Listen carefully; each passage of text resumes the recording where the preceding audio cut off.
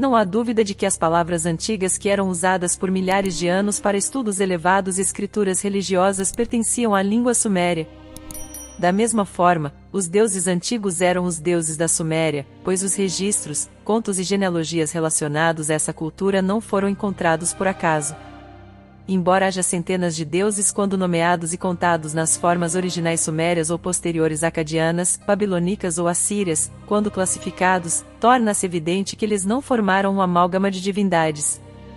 Eles eram liderados por um panteão de grandes deuses, governados por uma assembleia de divindades e relacionados uns com os outros, uma vez que as muitas deidades inferiores, como sobrinhas, sobrinhos, netos e semelhantes, são excluídas, um grupo muito mais reduzido e coerente de divindades emerge, cada uma com um papel a desempenhar, certos poderes e responsabilidades. Os sumérios acreditavam que havia deuses que vinham dos céus.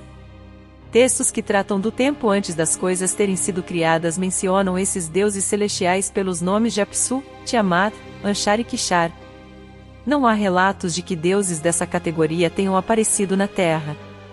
À medida que nos aproximamos desses deuses que existiam antes que a Terra fosse criada, compreendemos que eles eram os corpos celestes que constituem nosso sistema solar.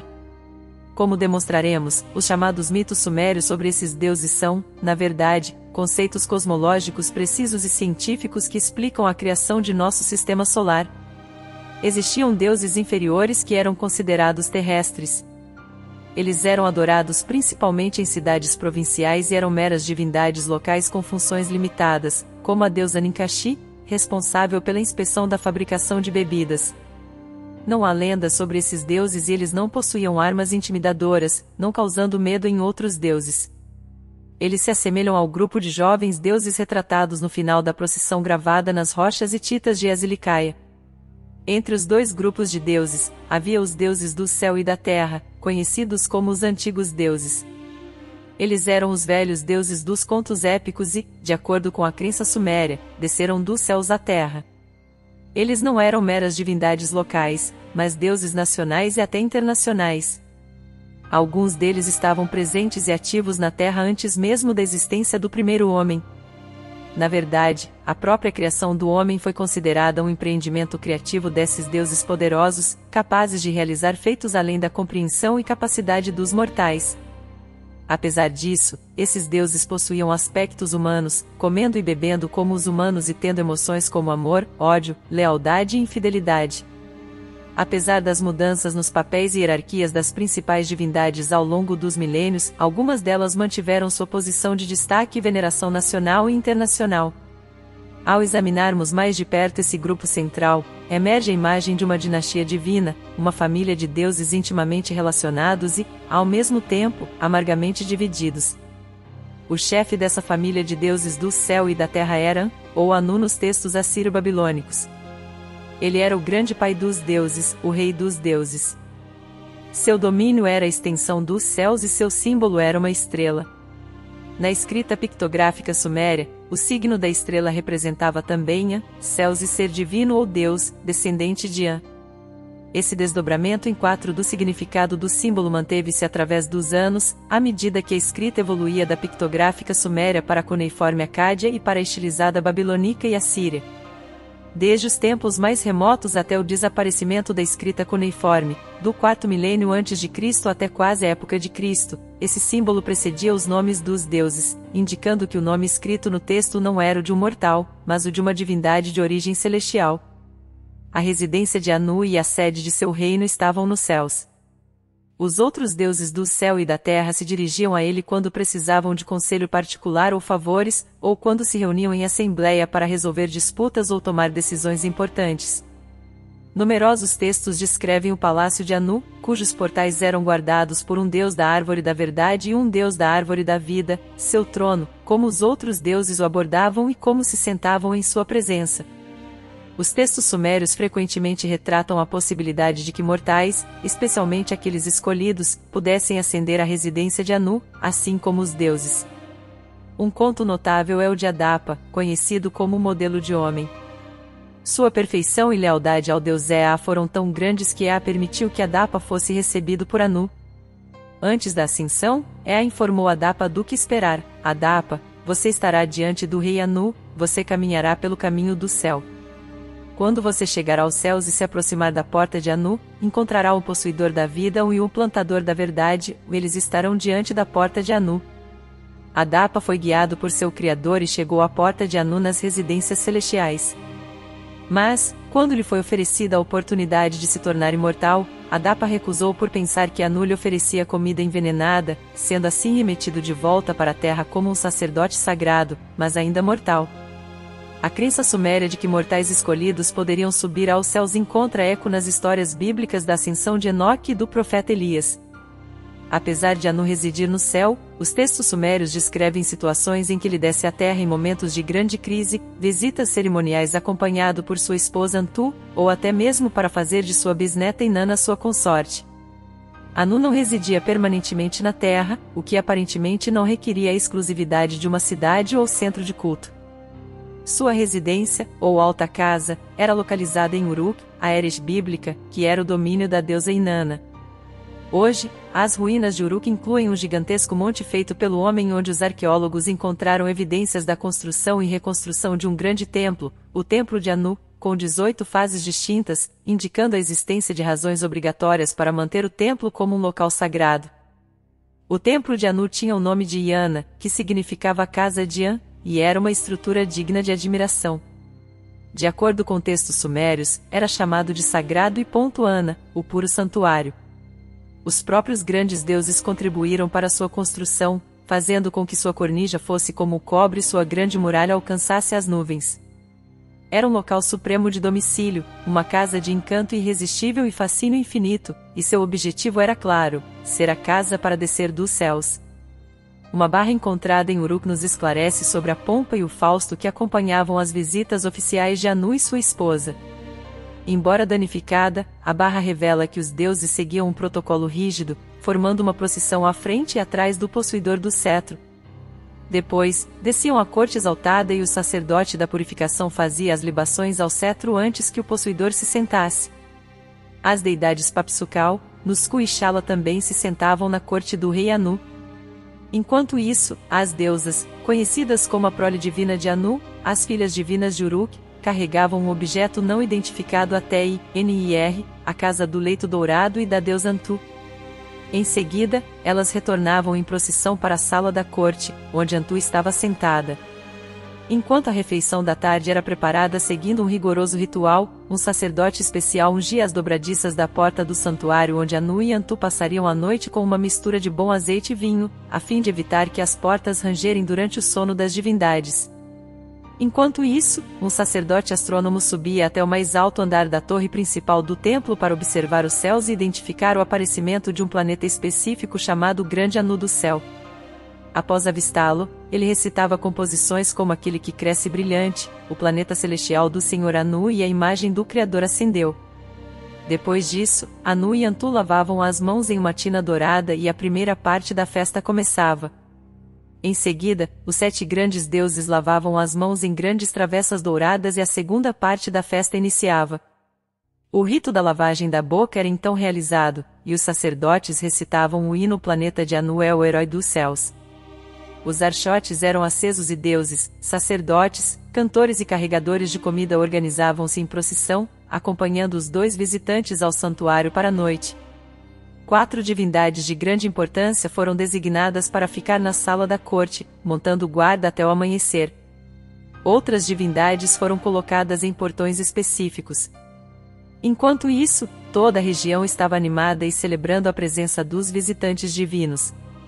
Quando um sinal foi dado pelo templo principal, os sacerdotes de todos os outros templos de Uruk deveriam acender tochas para fogueiras, e os sacerdotes em outras cidades, vendo as fogueiras em Uruk, deveriam proceder da mesma maneira.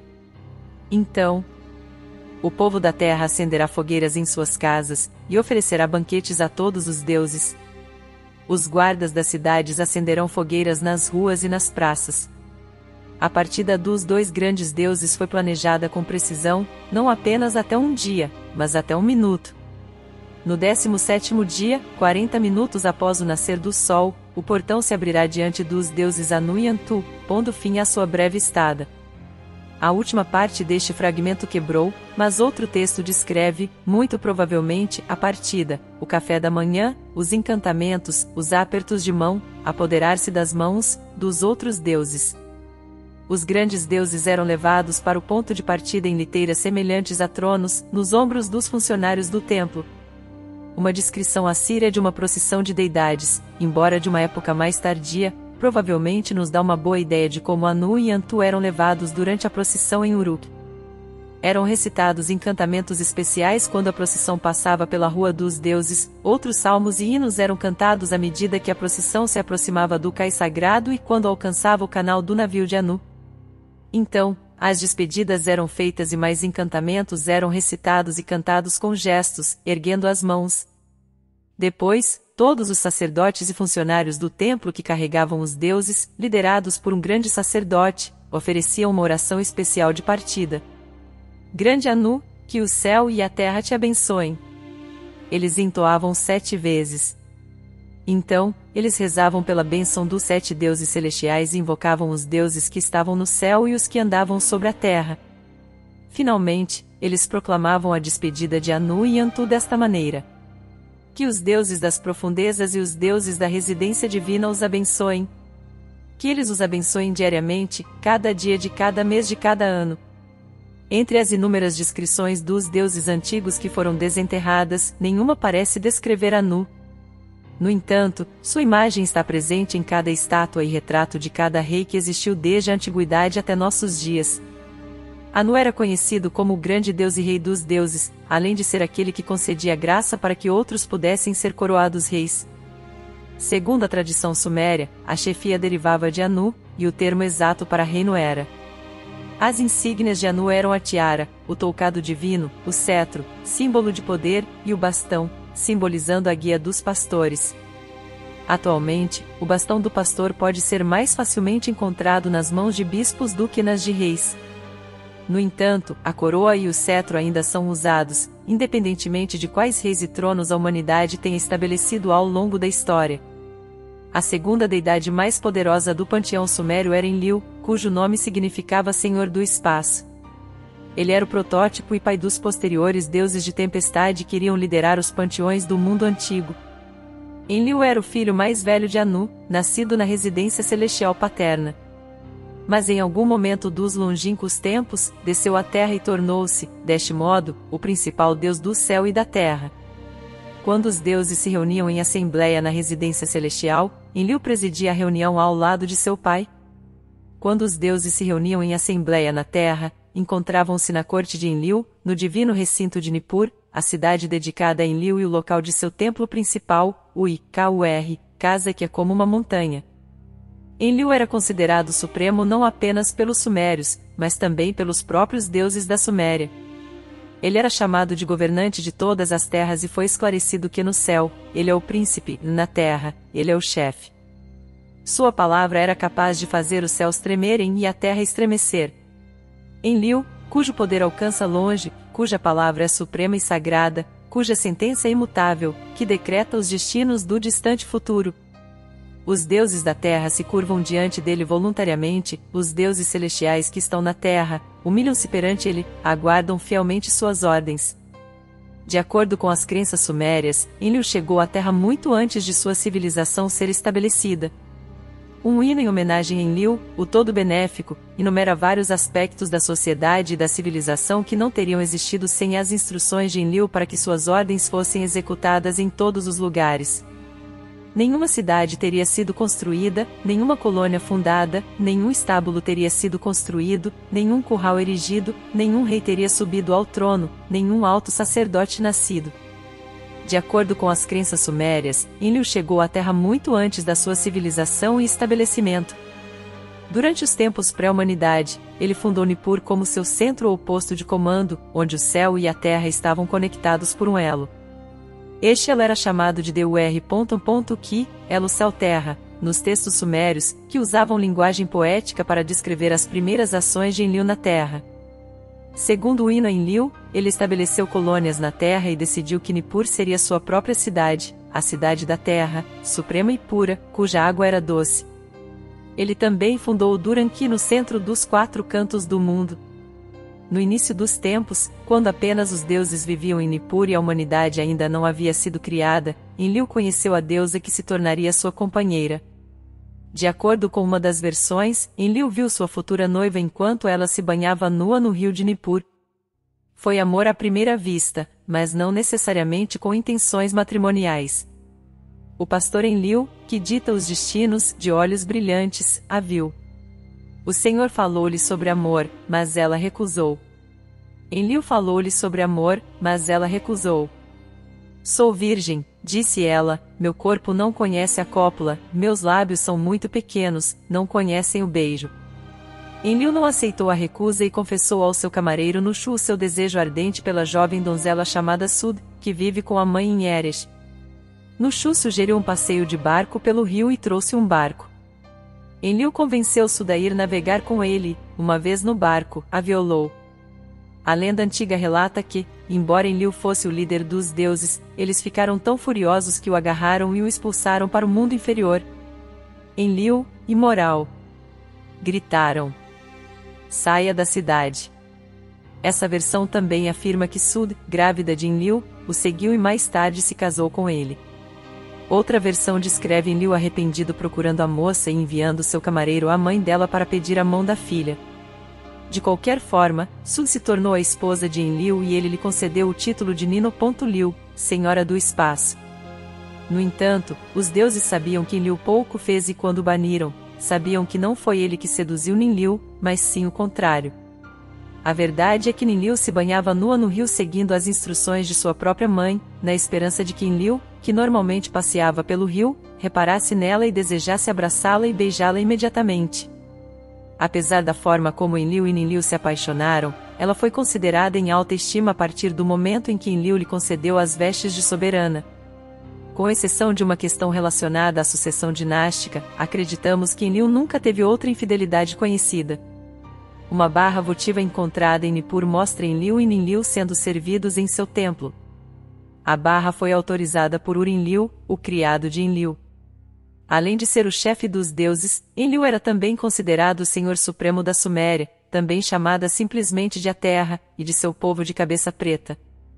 Um salmo sumério fala em reverência ao seu Deus da seguinte maneira: Senhor que conhece o destino da terra, digno de confiança em sua chamada, Enlil que conhece o destino da Suméria, digno de confiança em sua chamada, Pai, Enlil, Senhor de todas as terras, Pai Enlil, Senhor do justo comando, Pai Enlil, pastor dos de cabeça preta. Da montanha da alvorada à montanha do crepúsculo, não há outro senhor na terra, tu só és rei. Os sumérios tinham grande respeito por Enlil, tanto por medo quanto por gratidão.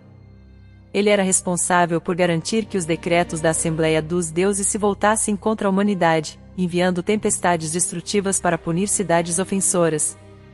Durante o dilúvio, foi ele quem buscou a destruição da humanidade.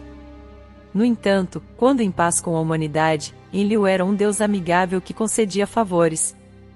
Segundo textos sumérios, ele concedeu à humanidade o conhecimento da agricultura, bem como a picareta e o arado.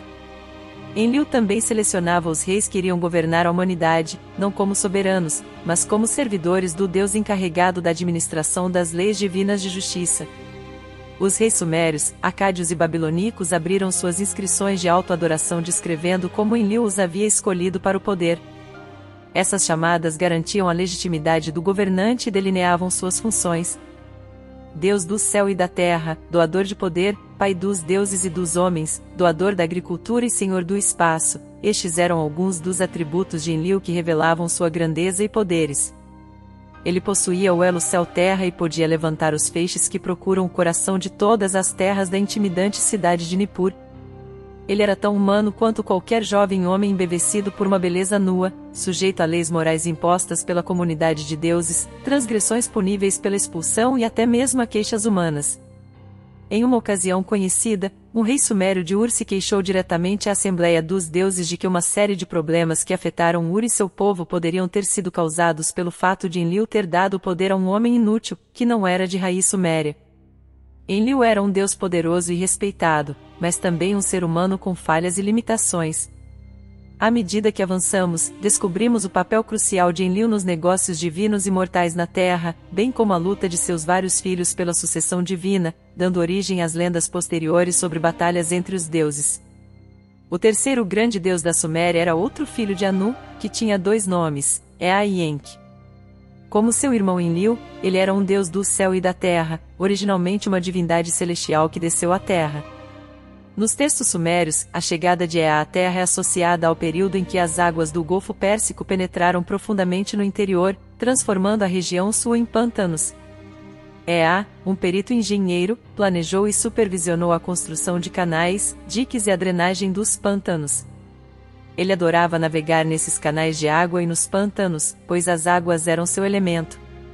Ele construiu sua grande casa na cidade que fundou em uma das extremidades dos pântanos, uma cidade chamada Ponto Aqui, lugar dos peixes na água, também conhecida como Eridu, casa de ir longe. Ea era o senhor das águas salgadas, governando os mares e os oceanos. Os textos sumérios relatam um tempo distante em que os três grandes deuses dividiram seus domínios entre si. Os mares foram dados a Enki, o príncipe da terra, concedendo a Ea o domínio de Apsu, o abismo. Como senhor dos mares, é construiu barcos que navegaram para terras distantes, trazendo para a Suméria metais preciosos e pedras semi-preciosas. Os selos cilíndricos sumérios mais antigos mostram Ea como uma divindade cercada por rios fluindo, onde às vezes se vêem peixes. Esses selos associam Ea, como visto aqui, à Lua, indicada em sua fase crescente, uma associação talvez baseada no fato de que a Lua é a causadora das marés. O epíteto Nino.ig.cal, Senhor dos olhos brilhantes, de Ea, sem dúvida, se refere a essa imagem astral. De acordo com os textos sumérios, incluindo uma autobiografia surpreendente de Ea, ele nasceu nos céus e desceu à terra antes de qualquer colônia ou civilização existir no planeta. Quando me aproximei do território, havia muitas inundações, ele afirmou. Em seguida, ele escreve uma série de medidas que tomou para tornar a terra habitável, encheu o rio Tigre com água fresca e geradora de vida, e indicou um deus para supervisionar a construção de canais, tornando o Tigre e o Eufrates navegáveis, desobstruiu os pântanos, enchendo-os de peixe e transformando-os em abrigos para pássaros de todos os tipos, além de fazer crescer juncos, que eram um material de construção útil. Mudando dos mares e rios para a terra seca, é afirma ter sido Deus que dirigiu o arado e a junta, abriu os sagrados sulcos, construiu os estábulos, erigiu os currais, Continuando, o texto autoelogioso, chamado Enki a Ordem do Mundo pelos estudiosos, atribui ao deus o crédito por trazer para a terra as artes da fabricação de tijolos, construção de moradias e cidades, metalurgia e muito mais. Apresentando essa divindade como o maior benfeitor da humanidade, o Deus que trouxe a civilização, muitos textos também o descrevem como o protagonista principal da humanidade nos conselhos dos deuses. Os textos diluvianos acadianos e sumérios, nos quais os relatos bíblicos devem ter sido baseados, descrevem Ea como o Deus que, desafiando a decisão da Assembleia dos Deuses, permitiu que um seguidor de confiança, o Noé mesopotâmico, escapasse do desastre. Na verdade, os textos acádios e sumérios, que acreditavam que um deus ou deuses criaram um homem através de um ato consciente e deliberado, como o Antigo Testamento, atribuíam a Ea um papel-chave, como cientista-chefe dos deuses, ele delineou o método e o processo pelo qual o homem seria criado. Por ter tanta afinidade com a criação ou a emergência do homem, não é surpresa que Ea tenha levado a Dapa, o homem modelo criado pela sabedoria de Ea, à residência de Anu nos céus, desafiando a determinação dos deuses de negar a vida eterna ao gênero humano. Ea estava do lado do homem simplesmente porque participou de sua criação, ou Ea tinha outros motivos mais subjetivos?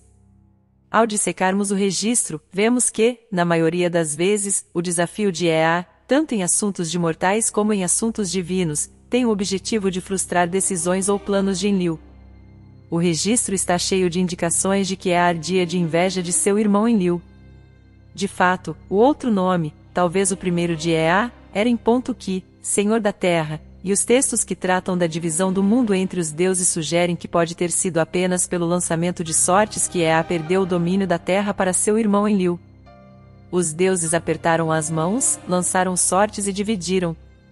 Anu subiu ao céu, a terra foi dada a Enlil como incumbência, os mares, como uma cadeia entrelaçada, foram dados a Enki, o príncipe da terra. embora Ea em que tivesse ficado amargurado com os resultados do lançamento de sortes, parece que ele nutria um ressentimento ainda mais profundo. Que afirmou em sua autobiografia que, como filho primogênito, ele era o verdadeiro herdeiro de Anu, não Enlil. Meu pai, o rei do universo, trouxe-me a luz para o universo. Eu sou a semente fecunda, engendrada pelo grande touro selvagem, eu sou o filho primogênito de Anu. Eu sou o grande irmão dos deuses. Eu sou o que nasceu como o primeiro filho do divino Anu.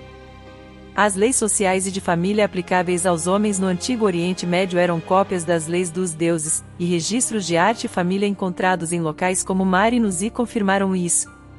Os problemas de sucessão enfrentados pelos patriarcas hebreus são instrutivos. Abraão, por exemplo, teve um filho primogênito com a servidora de sua esposa, já que ela aparentemente era estéril. No entanto, seu filho, Ismael, foi excluído da sucessão patriarcal assim que Sara deu a Abraão um filho dela própria, Isaque. Rebeca, esposa de Isaque, engravidou de dois gêmeos. Esaú, ruivo, peludo e forte, era o primogênito, mas Jacó nasceu agarrado ao seu calcanhar. Rebeca preferiu Jacó, que era mais refinado, e quando Isaac estava prestes a declarar seu testamento, ela o enganou para que a sucessão fosse para Jacó, e não para Esaú. Jacó teve problemas de sucessão devido ao fato de que Labão obrigou a se casar primeiro com Lia antes de se casar com Raquel. Jacó preferiu José, o filho primogênito de Raquel, aos seus irmãos. Compreendendo esses costumes e leis de sucessão, podemos entender as reivindicações conflitantes entre Enlil e Enk. Enlil era o primogênito legal de Anu e de sua consorte oficial Antu. Mas o grito de Enki, eu sou a semente fecunda. Eu sou o primogênito filho de Anu, pode ter sido uma exposição de fatos. Talvez Enki tenha nascido de outra deusa que era apenas uma concubina de Anu. Isso pode ter um paralelo anterior na residência celestial, como as histórias dos gêmeos Esaú e Jacó ou Isaac e Ismael. Embora em que tenha parecido aceitar as prerrogativas da sucessão de Enlil, alguns estudiosos veem provas suficientes para mostrar uma contínua luta de poder entre os dois deuses. Samuel Kremer intitulou um dos textos antigos de Enki o seu complexo de inferioridade. Como veremos mais tarde, vários contos bíblicos têm suas versões originais sumérias que envolvem momentos de desafio de Enki aos direitos de seu irmão, como Eva e a serpente no jardim do Éden ou o conto do dilúvio. Num dado momento, em que percebeu que não fazia sentido lutar pelo trono divino e concentrou seus esforços em fazer um filho seu, preferencialmente um filho de Enlil, ser o herdeiro da terceira geração. Ele tentou alcançar esse objetivo, pelo menos no começo, com a ajuda de sua irmã Ninhursag, a senhora do topo da montanha. Ela também era filha de Anu, mas aparentemente não era filha de Antu, o que possuía outra regra de sucessão. No passado, estudiosos se perguntaram por que Abraão e Isaac anunciaram que suas esposas eram suas irmãs, uma afirmação que confunde, considerando a proibição bíblica de relações sexuais entre irmãos. No entanto, quando foram encontrados documentos legais em Mar e Nuzi, tornou-se claro que um homem podia se casar com uma meia-irmã. E mais, considerando todas as crianças de todas as mulheres, o filho de uma esposa assim, sendo 50% mais puro do que um filho de mulher não aparentada, era o herdeiro legal, fosse ou não o filho primogênito. Isso levou à prática, em Marinuzi, da adoção de uma irmã como esposa preferida, a fim de fazer do filho que ela tivesse o um incontestado herdeiro legal. Em que procurou ter um filho com uma dessas meias-irmãs, Ninhursag, que também era do céu e havia descido à terra nos tempos mais antigos. Alguns textos afirmam que, quando os deuses dividiam os domínios da terra entre si, ela foi dada à terra de Dilmun, um lugar puro, uma terra pura, um lugar tão brilhante. Um texto intitulado Enki Ursag, o mito do paraíso conta sobre a viagem de Enki a Dilmun com objetivos conjugais. Ninhursag, enfatiza o texto repetidamente, estava sozinha, descomprometida e solteira. Embora em tempos posteriores ela seja descrita como uma velha matrona, ela deve ter sido muito atraente quando jovem, uma vez que o texto nos informa, sem nenhum pudor, que, quando Enki se aproximou dela, à sua vista seu pênis fez transbordar os diques de água. Enki deu ordens para que ficassem sozinhos e depositou o sêmen no ventre de Ninhursag. Ela aceitou dentro do ventre, ao sêmen de Enki, depois, após os nove meses de feminilidade, ela deu à luz nas margens das águas, mas a criança era uma menina. Enki, ao não conseguir ter um herdeiro masculino, decidiu ter relações sexuais com sua própria filha. Ele abraçou, a beijou, Enki depositou o sêmen em seu ventre. No entanto, ela deu à luz uma filha. Enki então correu atrás de sua neta e a engravidou, mas mais uma vez o resultado foi uma menina. Firmemente decidida a acabar com esses esforços, Ninhursag amaldiçoou Enki, que, tendo comido algumas plantas, ficou mortalmente doente. Os outros deuses, no entanto, forçaram Ninhursag a retirar a praga. Embora esses eventos tenham tido um grande impacto nos negócios divinos, outros contos relacionados a Enki Ninhursag tiveram uma enorme influência nos negócios terrenos humanos. De acordo com textos sumérios, Ninhursag criou o homem seguindo processos e fórmulas deixados por Enki. Ela era enfermeira-chefe, responsável pelo equipamento médico, sendo chamada de Ninti, Senhora da Vida, por causa desse papel. Alguns estudiosos veem em Adapa, o homem modelo de Enki, o Adão bíblico. O duplo significado de Tim sumério também suscita paralelos bíblicos. Ti pode significar tanto vida quanto costela. Portanto, o nome de Ninti significava não apenas Senhora da Vida, mas também Senhora da Costela. Eva, cujo nome significa vida, foi criada a partir da costela de Adão, e, portanto, também era uma Senhora da Vida e Senhora da Costela. Ninhursag é descrita como uma deusa-mãe, doadora de vida tanto aos deuses quanto aos homens. Seu diminutivo era Mamu, a palavra predecessor da nossa atual mamãe, e seu símbolo era o cortador, utensílio usado pelas parteiras na antiguidade para cortar o cordão umbilical após o nascimento. Enlil, irmão e rival de Enki, teve a sorte de gerar um herdeiro justo com sua irmã Ninhursag o mais jovem dos deuses, nascido nos céus, recebeu o nome de Nino.ur.ta, Senhor que completa a fundação. Ele era o filho heróico de Enlil que avançava com cadeias e raios de luz para lutar pelo seu pai, o filho vingador, que desfere flechas de luz. Sua esposa, Baal, também era enfermeira ou médica e seu epíteto era Senhora que traz os mortos à vida. Os antigos desenhos de Ninurta mostram-no empunhando uma arma única, sem dúvida a mesma que desferia flechas de luz. Os antigos textos o aclamam como um poderoso caçador e um deus lutador conhecido por suas habilidades marciais. Mas seu feito heróico mais proeminente não foi executado em nome de seu pai, e sim por sua própria causa. Foi uma grande batalha com um deus maligno chamado Zu, sensato, e envolveu nada menos que a liderança dos deuses da terra, uma vez quis o capturar ilegalmente as insígnias e objetos que Enlil mantinha como líder dos deuses. Os textos que descrevem estes acontecimentos estão incompletos no começo, e a história só se torna legível quando Zu chega a Ekur, o templo de Enlil. Parece que o personagem em questão é conhecido e respeitado, já que Enlil o recebe com boas-vindas, confiando-lhe a guarda da entrada de seu santuário. No entanto, o malvado Zu trama em seu coração a destituição de Enlil e a apreensão de seus poderes.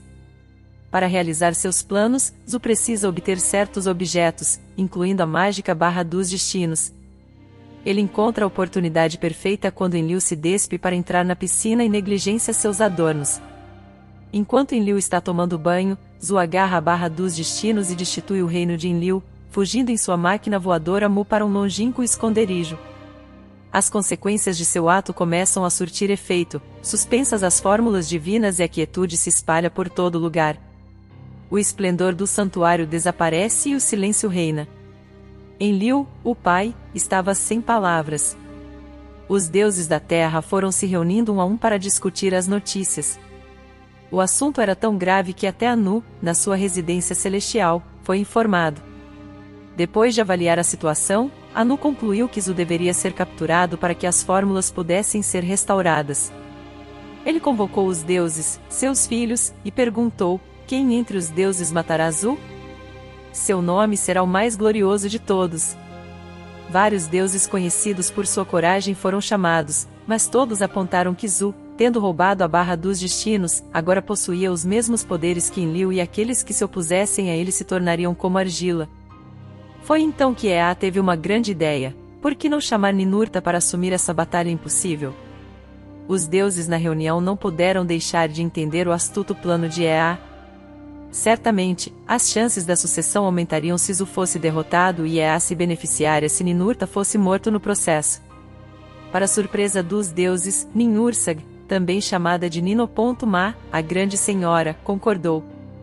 Dirigindo-se a seu filho Ninurta, ela explicou que Zu retirara não só Enlil, mas também Ninurta do reino de Enlil. Dei à luz com gritos de dor, ela gritou, e foi ela quem garantiu a continuidade do reino dos céus para seu irmão e para Nu. Para que seus sofrimentos não fossem em vão, ela instruiu Ninurta a lutar e vencer. Avance para o ataque, capture o fugitivo Zu. Deixe a força aterradora se voltar contra ele. Corte sua garganta. Conquiste Zu. Que os sete ventos da doença o atinjam, que todos os furacões o ataquem, que a radiação vá contra ele. Que os ventos levem suas asas para um lugar secreto. Que a soberania retorne para Ekur, que as fórmulas divinas retornem ao Pai que te gerou. As várias versões da epopeia apresentam emocionantes descrições da batalha entre Ninurta e Zu. Ninurta disparou flechas contra Zu, mas elas não puderam atingir seu corpo enquanto ele tivesse em mãos a barra dos destinos dos deuses. As armas eram paradas a meio do caminho. Quando a batalha começou a ficar cansativa, Ea aconselhou Ninurta a juntar um tilum às suas armas e dispará-las nas penas, ou pequenas rodas dentadas, das asas de Zu. Seguindo este conselho e gritando asa a asa, Ninurta disparou o tilum para as penas de Zu. As penas começaram a se espalhar e as asas de Zu caíram em espiral. Zu foi derrotado e a barra dos destinos voltou para Enlil. Mas quem era Zu? Seria ele, como alguns estudiosos afirmam, um pássaro mitológico? É evidente que ele podia voar, mas qualquer pessoa hoje em dia pode fazer isso em um avião ou em uma nave espacial. Ninurta também podia voar tão habilidosamente quanto Zu, talvez até melhor. No entanto, ele não era um pássaro de qualquer tipo, como descrito abundantemente em suas muitas descrições, feitas por ele próprio ou por sua consorte Baal, também chamada Geopôntula. Pelo contrário, ele voava com a ajuda de um notável pássaro, que ele mantinha guardado em seu recinto sagrado, o Girsu, na cidade de Lagak. Zu também não era um pássaro. Aparentemente, ele tinha um pássaro à sua disposição, no qual podia voar para escapar para seu esconderijo. A batalha celestial entre os dois deuses ocorreu no interior desses pássaros. Não há dúvidas quanto à natureza da arma que finalmente derrotou o pássaro de Zu. Chamado Tio em sumério e Tilum em assírio, seu significado em hebraico é míssil. Zu era um deus, um dos deuses que tinha motivos para planejar a usurpação dos poderes de Enlil. Ele era um deus com quem Ninurta, o legítimo sucessor, tinha todas as razões para lutar. Pode ser que Mar. Duque, filho do puro morro, seja o primogênito de Enki sua esposa Dan. Na, que impacientemente tomou algo que não lhe pertencia legalmente. Existem razões para acreditar que, como Enki não conseguiu ter um filho com sua irmã para produzir um concorrente legal para o reino de Enlil, ele confiou essa tarefa a seu filho Marduk, na verdade, quando grandes sublevações sociais e militares tomaram conta do antigo Oriente Médio no início do segundo milênio antes de Cristo, Marduk foi elevado na Babilônia à categoria de deus nacional da Suméria e Acádia. Marduk foi proclamado rei dos deuses, substituindo Enlil, e os outros deuses foram obrigados a jurar lealdade a ele e a residir em Babilônia, onde suas atividades podiam ser facilmente supervisionadas. Essa usurpação do reino de Enlil, muito tempo depois do incidente com Zu, foi acompanhada por um esforço extensivo dos babilônios para falsificar os textos antigos. Os textos mais importantes foram reescritos e alterados de forma a fazer de Marduk o Senhor dos Céus, o Criador, o Benfeitor e o Herói, em vez de Anu, Enlil ou até Ninurta. Entre os textos alterados estava o conto de Zui, de acordo com a versão babilônica, Marduk, e não Ninurta, lutou contra Zu. Nesta versão, Marduk clama, Mahashimoy Uzu, eu esmaguei o esqueleto do deus Zu. Como fica evidente, então, Zu não poderia ter sido Marduk. Nem parece plausível que Enki, o deus das ciências, tivesse ensinado Ninurta a escolher e usar armas vitoriosas contra seu próprio filho Marduk. Enki, a julgar por seu comportamento, assim como por sua urgência em dizer a Ninurta para cortar a garganta de Zu, esperava ganhar algo com a luta, não importando quem fosse o vencedor. A única conclusão lógica é que Zu também era, de algum modo, um candidato legal ao reino de Enlil. Isso implica que apenas um deus, Nana, é o primogênito de Enlil e de sua consorte oficial Ninlil, pois se Ninurta fosse eliminado, Nana seria o próximo na linha sucessória. Nana, também conhecido como Sim acadiano, chegou até nós ao longo dos anos. Como primogênito de Enlil, ele tinha garantia de governar sobre a cidade-estado mais famosa da Suméria, Ur, a cidade. Seu templo, Irgis. No ponto Gal, casa da semente do trono, era onde Nana e sua esposa Nino. Gal, grande senhora, governavam com grande benevolência. O povo de Ur retribuía aos governantes divinos com grande afeição, chamando Nana de Pai Nana e outros nomes carinhosos. A prosperidade de Ur foi atribuída diretamente a Nana, e o governante de Ur, Shuji, descreveu o templo como um lugar cheio de abundância e ofertas de pão, onde os animais eram abatidos e a música suave dos tambores e tamborins era ouvida. Sob a governança do deus protetor Nana, Ur tornou-se o celeiro da Suméria, fornecendo cereais, ovelhas e gado para outros templos em toda parte. No entanto, um lamento da destruição de Ur nos informa, de forma negativa, sobre como era Ur antes de sua decadência. Nos celeiros de Nana não havia cereal. As refeições da tarde dos deuses foram suprimidas, em suas grandes salas de jantar, vinho e mel cessaram.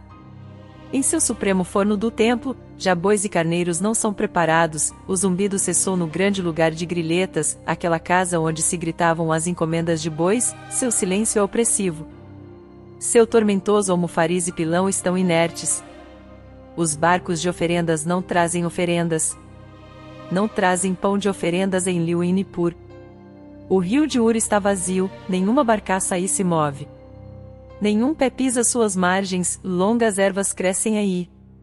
Este relato ilustra como a cidade de Ur experimentou uma grande prosperidade sob a proteção de Nana, e como sua queda afetou não só a cidade, mas também o bem-estar dos deuses. Uma das coisas mais notáveis sobre a queda da cidade suméria de Ur é que ela foi lamentada não apenas pelo povo, mas também pelos próprios deuses.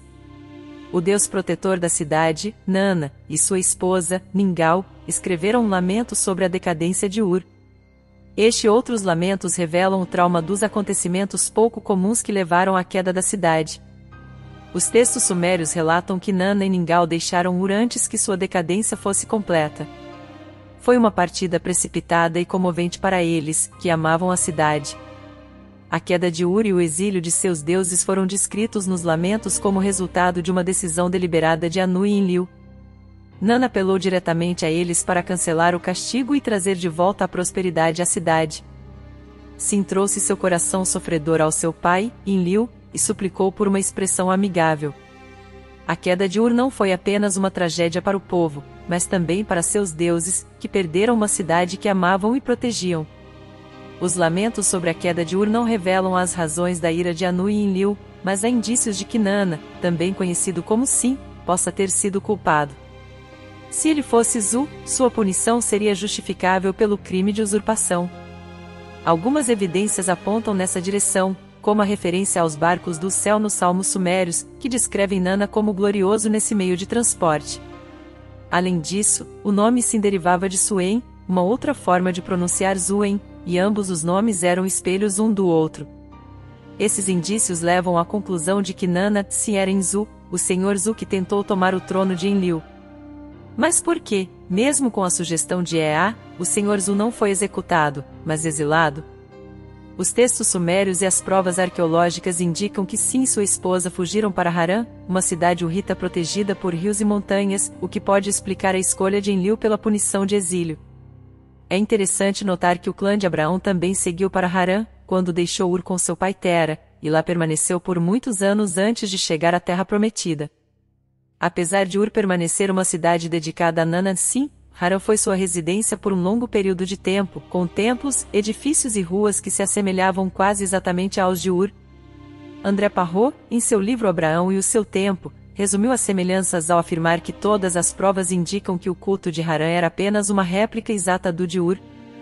Durante mais de 50 anos de escavações em Haran, foram desenterrados os restos do templo de Sim, construído e reconstruído ao longo dos milênios, entre os achados, havia duas estelas com um registro único ditado por Adagupi, uma alta sacerdotisa de Sim, que conta como ela orou e planejou o retorno de Sim, que, em algum momento do passado, se enfureceu com sua cidade e templo e subiu ao céu. a ideia de que Sim tenha feito as malas e subido ao céu é corroborada por outras inscrições que relatam como o rei assírio Assurbanipal obteve um sagrado selo cilíndrico do mais caro jaspe de seus inimigos e o melhorou desenhando uma gravura de Sim. Mais tarde, ele inscreveu um elogio a Sim na pedra sagrada e a pendurou em volta do pescoço da imagem de Sim. Esse selo de pedra de Sim deve ter sido uma relíquia dos velhos tempos, uma vez que é dito que ele é aquele cuja face foi danificada naqueles dias durante a destruição lavrada pelo inimigo. Acredita-se que a alta sacerdotisa, nascida durante o reinado de Assurbanipal, era ela mesma de sangue real. Em suas petições assim, ela propôs um acordo prático, a restauração dos poderes de Sim sobre seus adversários em troca da ajuda que prestaria a seu filho Nabunaide para se tornar governante da Suméria e da Cádia. Registros históricos confirmam que, em 555 a.C., Nabunaide foi nomeado para o trono com a ajuda direta de Sim. Ele cumpriu a promessa de sua mãe ao Deus, reconstruindo o templo de Sim e declarando-o como Deus Supremo. Sim então assumiu o título de crescente divino e firmou sua reputação como Deus Lua. Mas como Sim, que se dizia ter voltado aos céus desgostoso, conseguiu realizar esses feitos de volta à terra, Nabunaide exigiu um milagre para confirmar que sim havia realmente esquecido sua zangada disposição, e decidiu regressar ao templo Elulhu. O milagre ocorreu quando uma deidade desceu vinda do céu, um evento que não acontecia na Terra desde os tempos antigos e que foi preservado para sempre nas inscrições de Nabunaide. Infelizmente, não temos muitos detalhes sobre como se impousou na Terra mas sabemos que Jacó viu uma escada que se erguia até os céus com anjos subindo e descendo por ela, quando estava a caminho de Canaã para encontrar uma noiva naquela região antiga. Enquanto Nabunaide restaurava os poderes e templos de Nana, Sim, também restaurou os templos e adoração dos filhos gêmeos de Sim, Inanna, senhora de Anu, e Uto, o brilhante. Inanna era tecnicamente a primogênita, mas Uto era o filho primogênito e, portanto, o herdeiro dinástico legítimo. Ao contrário da rivalidade que existia entre Esaú e Jacó, as duas crianças divinas cresceram muito afeiçoadas uma à outra. Partilharam experiências e aventuras, ajudavam-se mutuamente. Quando Inanna teve que escolher um marido entre dois deuses, voltou-se para seu irmão em busca de conselho. Inanna e Uto nasceram em tempos imemoriais, quando apenas os deuses habitavam a terra. A cidade dominada por Uto, Sippar, estava na lista das primeiras cidades estabelecidas pelos deuses na Suméria. Quando Nabunaide reconstruiu o templo de Utebabbara, Casa Brilhante, em Sippar, ele relatou numa inscrição que procurou pela antiga plataforma alicerce e cavou 18 cúbitos no solo. Uto, o grande deus de Babbara, mostrou-lhe pessoalmente a plataforma alicerce de Naronsim, filho de Sargão, que nenhum rei antes dele viu nos últimos 3.200 anos, quando a civilização floresceu na Suméria e os seres humanos se juntaram aos deuses na terra entre os rios, Utu foi inicialmente associado à lei e à justiça. Alguns dos primeiros códigos de leis, além de invocarem Anu e Enlil, também eram apresentados como sendo em conformidade com a verdadeira palavra de Utu. O rei babilônico Hammurabi escreveu seu código de leis em uma estela, na qual o rei é representado recebendo as leis do deus, barras desenterradas em Sippar atestam sua reputação antiga como um lugar de leis justas e corretas. Alguns textos descrevem o próprio Uto sentado em julgamento de deuses e também de homens. Sippar era, de fato, a sede da Suprema Corte Suméria. A justiça advogada por Uto é semelhante à do Sermão da Montanha registrado no Novo Testamento. Uma barra da sabedoria sugere o seguinte comportamento para agradar a Uto. Não prejudique seu adversário, compense seu malfeitor com o bem. Deixe que seja feita justiça a seu inimigo. Não deixe que seu coração seja induzido ao mal. Dê alimento para aquele que pede esmola, dê vinho para beber. Seja útil e faça o bem. Uto era visto como protetor dos viajantes e defensor da justiça, o que o tornava um deus importante para os povos da Mesopotâmia. No entanto, sua característica mais marcante era o esplendor, sendo chamado de Babbar, o brilhante, desde tempos antigos. Embora seja associado ao Sol como seu equivalente celestial, há registros que afirmam que Utu chamas emana uma brilhante luz enquanto realiza tarefas especiais dadas por seu avô Enlil. Assim como Utu, a deusa Inanna, ou Ishar, como era conhecida pelos babilônios e assírios, também era amplamente reverenciada pelos povos mesopotâmicos. Ela era a deusa da arte guerreira e do amor, uma bela e impetuosa mulher que tinha um lugar de destaque entre os grandes deuses do céu e da terra. Inanna tinha uma casa na terra de Arata, a leste da Suméria, mas sua ambição a levou a cobiçar a cidade de Uruk, onde estava localizado o grande templo de Anu. Existem inúmeros registros, desde inscrições a encantamentos e orações, que atestam a presença física e a existência de Inanna. Sua presença é tão antiga que um rei mesopotâmico do século 13 a.C. afirmou ter reconstruído o templo da deusa em Sippar, cidade de seu irmão, em alicerces que já tinham 800 anos de existência. Os contos sobre Nana recuam ainda mais no tempo em Uruk, onde ela gravou para si própria um lugar de destaque entre os grandes deuses. As listas de reis sumérios confirmam que o primeiro governante não divino de Uruk foi Meshagagasher, filho do deus Utu e de uma mãe humana ele foi sucedido por seu filho Imercar, um grande rei sumério. Inanna, tia-avó de Imercar, não encontrou dificuldades em persuadi-lo a torná-la a deusa de Uruk em vez de Arata, uma cidade remota. O texto Imercar e o senhor de Arata descreve como Imercar enviou emissários para Arata, usando todos os argumentos possíveis numa guerra de nervos para forçar a cidade a submeter-se porque o senhor Imercar, que era servo de Inanna, a fizera rainha da casa de Anu. O fim pouco claro da epopeia sugere um final feliz, enquanto Inanna se mudava para Uruk, ela não abandonou sua casa em Arata. Não é totalmente improvável que ela se tornasse uma deusa viajante, uma vez que Inanna Ishar era conhecida de outros textos como uma aventureira viajante. A ocupação do templo de Anu em Uruk não poderia ter acontecido sem o conhecimento e consentimento de Inanna, e os textos dão-nos ideias definidas sobre o modo como tal consentimento foi obtido. Em breve, Inanna foi conhecida como Anunitum, um diminutivo significando amada de Anu.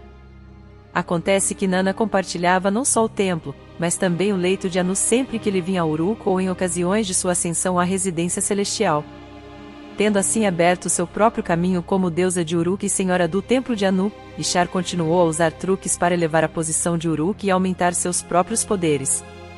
Mais ao sul, ficava a cidade antiga de Eridu, o centro de Enki sabendo de seu grande conhecimento de todas as artes e ciências da civilização, Inanna resolveu pedir, fazer empréstimo ou roubar esses segredos. Pretendendo usar seu encanto pessoal sobre Enki, seu tio-avô, Inanna procurou visitá-lo sozinha. O fato não passou despercebido a Enki, que ordenou a seu mordomo para preparar um jantar para dois. Enki, o deus da sabedoria, estava encantado com a visita de sua sobrinha, Inanna. Ele a convidou para jantar e ela aceitou, na esperança de obter algumas fórmulas divinas. Enki, que estava sob a influência do álcool, concedeu-lhe cerca de 100 fórmulas, incluindo algumas que eram a base da alta civilização. Entre elas estavam fórmulas para funções sacerdotais, armas, procedimentos legais, profissão escriba e até mesmo conhecimento de instrumentos musicais e prostituição do templo. Quando Enki percebeu o que havia feito, já era tarde demais, e Nana estava a caminho de Uruk com o conhecimento que havia obtido. Ele tentou enviá-la armas intimidantes, mas ela já estava longe em seu barco dos céus. Inanna era frequentemente retratada como uma deusa nua, exibindo sua beleza e até levantando suas saias para revelar as partes inferiores do seu corpo. Ela usava sua beleza e charme pessoal para aumentar seu poder e elevar a posição de Uruk. Eridu, o centro de Enki, era uma cidade antiga localizada mais abaixo no Eufrates. Inanna, que sabia do grande conhecimento de Enki, decidiu pedir empréstimo ou roubar seus segredos, pretendendo usar seu charme para isso. Com a ajuda de seu mordomo Izimud, ela foi capaz de entrar no Abzu de Eridu e obter os conhecimentos que buscava. Gilgamesh, um governante de Uruk por volta de 2900 a.C., era um ser parcialmente divino, tendo nascido de uma deusa e um pai humano. Ele relatou como Inanna, mesmo já tendo um esposo oficial, o seduziu após ele ter se lavado após uma batalha e vestido um manto de fimbras douradas apertado com uma faixa. A gloriosa Ishar olhou para a beleza de Gilgamesh e o convidou para ser seu amante ela pediu para que ele lhe concedesse o seu fruto, sendo ele o seu parceiro masculino e ela a sua mulher. No entanto, Gilgamesh conhecia a fama de Nana e perguntou a ela qual de seus apaixonados ela havia amado para sempre e qual de seus pastores havia agradado para sempre. Ele recusou a oferta, recitando uma longa lista de seus casos amorosos. Com o tempo, Inanna Nishar assumiu posições mais altas no panteão e com elas veio a responsabilidade de lidar com negócios de Estado. Ela adquiriu qualidades marciais e foi frequentemente descrita como uma deusa da guerra, armada até os dentes. As inscrições deixadas pelos reis assírios descrevem como eles partiram para a guerra sob seu comando e como ela os aconselhou a atacar ou esperar.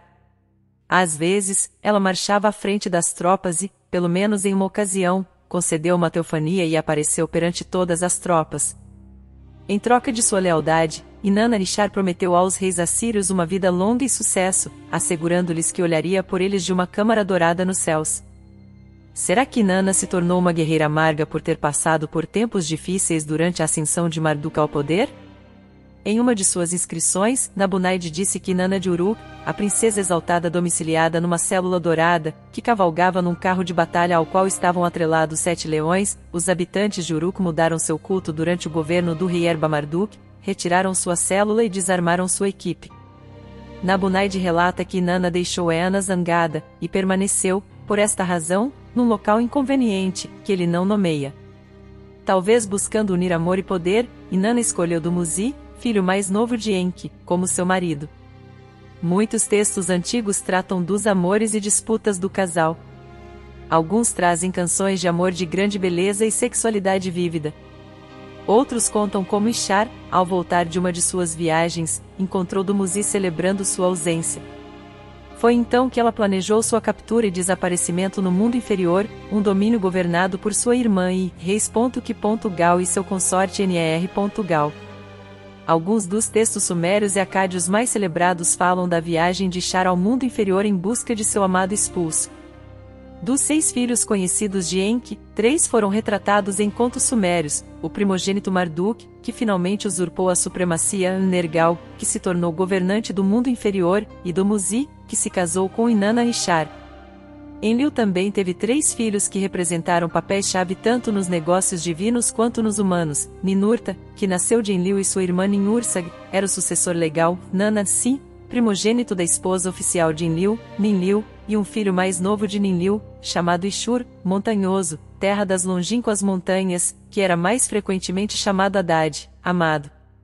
Como irmão de Sin e tio de Uto e Nana, Haddad parecia sentir-se mais à vontade com eles do que em sua própria casa, os textos sumérios frequentemente agrupavam os quatro. As cerimônias ligadas à visita de Anu a Uruk também falavam dos quatro como um grupo. Um texto que descreve a entrada na corte de Anu afirma que se chegava à sala do trono através do portão de Sim, Chamas, Haddad e Ishar. Outro texto, publicado pela primeira vez por V.K. Chileico, Academia Russa de História de Culturas Materiais, descreve poeticamente os quatro se retirando juntos para o descanso noturno. A maior afinidade parecia existir entre Haddad e Ishar, e os dois até mesmo eram representados lado a lado, como no relevo que mostra um governante assírio será que a relação entre Ishur e sua afinidade ia além da relação platônica, considerando o registro de Ishar, é interessante notar que no Cântico dos Cânticos bíblico, a donzela chama seu amante de Dod, palavra que significa tanto amante quanto tio ao mesmo tempo. Será que Shur, chamado de Haddad, um derivado do sumério Dada, era o tio que era amante?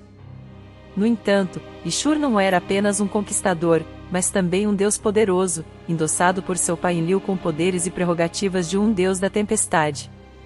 Como tal, ele era reverenciado, assim como o Rita Tita Texub e Urashil Texubu, soprador de vento, o Amorita Ramanu, trovejante, o cananita Rajinu, o lançador de granizo, o indo-europeu Burias, fazedor de luz, e o semita Meir, ele que ilumina os céus.